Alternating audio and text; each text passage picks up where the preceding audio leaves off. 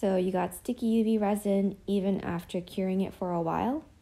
Well, here's a little hack that I use to help with that. So what you do is you submerge your sticky resin into a container of water and then expose it under the curing light. Same amount as you normally would. And you'll find your resin will be fully cured and with no tackiness. So why does this work?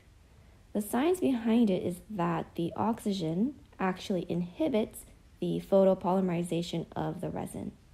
It actually delays it.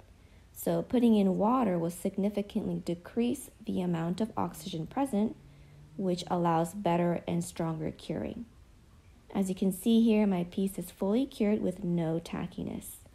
So for my final cure for all of my pieces, I always submerge them in water. Hope this helps.